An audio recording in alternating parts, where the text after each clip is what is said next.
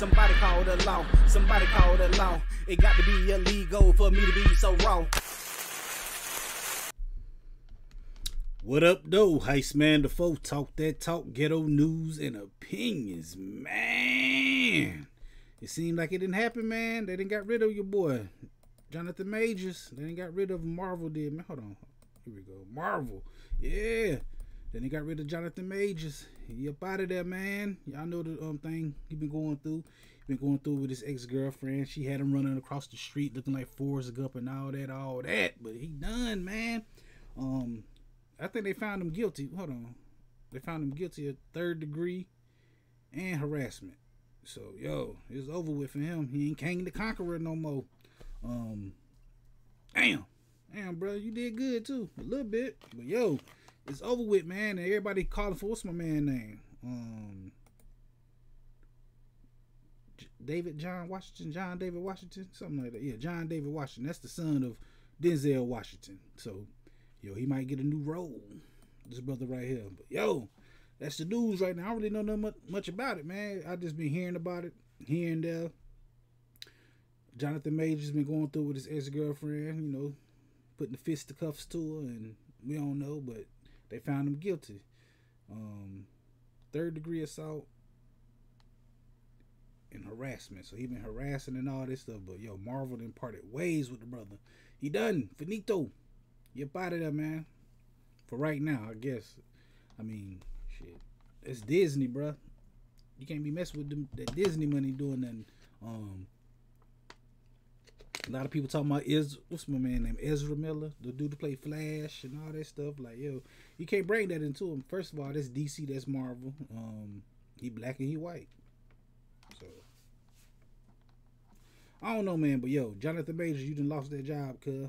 Um, Tyler Perry, I don't know. You gonna you gonna have a fake wig on doing the Tyler Perry movie pretty soon, man. You don't get your act together, man. But yo, I don't know the details about it. I don't know if it's true or not. I ain't here to criticize, but yo, damn, bro. Like I said, man, you was running. What a picture. Look at him. He man, I seen the video of him running. He running, ducking behind cars, ducking, doing parkour, trying to get away from that white woman. And she came back to get you, bro. The court system, they never fail, but anyway, we definitely gonna be talking about this Friday right here on this channel because I go live every Friday talking about stuff just like this. You just gotta come through and holler at me, man. Hit that like button, the comment button, the share button, subscribe button, notification bell. All them good buttons you gotta hit to get this pimping that I'm putting out when I put it out. And like I said, I go live every Friday. Let me know in the comment section how you feel about this. Was it justified? Was it not? Um, I don't know, man. This depends how you feel about putting your hands on people. How you feel about it. Um, my opinion is, yo, I ain't got no opinion on it. I don't know if he should have lost his job and Maybe he should have. You know, you can't put your hands on people, man. I don't know. I don't know if it's true or not. I just, I'm just telling you the details. I'm telling you what the news say. The news say Marvel didn't drop him. And I ain't heard it from the news. I just seen it on the internet. Everybody saying Marvel took him. He gone. He gone. He gone. John David Washington. I'm like, what John David Washington? What he trending for? Oh, they want him to be the next Kang. Or John Boyega. The dude, what's the dude name? To play Finn from Star Wars. I don't know, man. Who, is they gonna have a new Kang? Um, Doctor Doom. You gotta take off with him or something. I don't know, man, but yo, he put the DC, I mean the um, MCU in a little.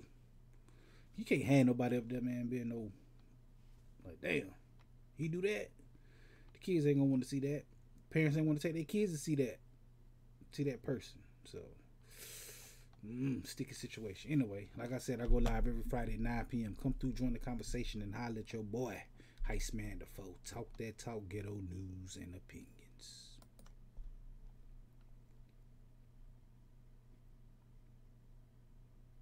This is a dangerous group that groups that we're dealing with now.